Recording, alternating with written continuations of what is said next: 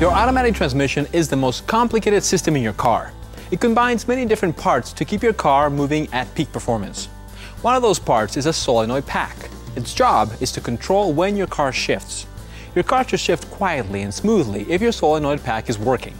If it isn't, your engine isn't running to its highest standard, which can lead to more costly damage and low gas mileage. You should have your solenoid pack replaced so you can get the best performance from your engine and avoid any more expensive transmission problems.